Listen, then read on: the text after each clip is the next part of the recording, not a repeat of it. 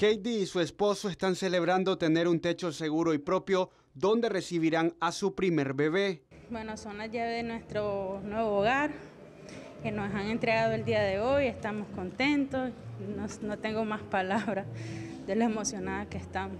Ahora el bebé que viene en camino va a tener un hogar propio. Así es, es correcto. ¿Ustedes alquilaban? ¿No tenían un hogar? Estamos alquilando, ya pronto ya va a acabar eso. Eh, ya pues vamos a quitarnos ese estrés, de ese gasto y ya va a ser para nuestro hijo. Como... Otra historia es de la familia Calero. Se pasean de un lado a otro admirando la vivienda donde iniciarán una nueva etapa. ¿Ustedes dónde? No, vivíamos donde la suegra.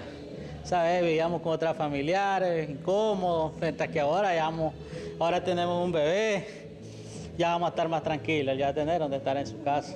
Así la capital de Nicaragua sigue aportando a dar satisfacción a una demanda social. había un déficit y hay un déficit habitacional.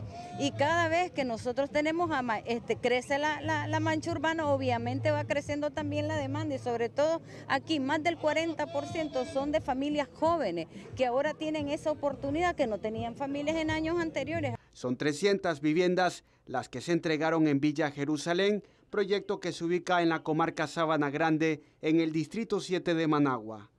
Les informó Oscar Morales.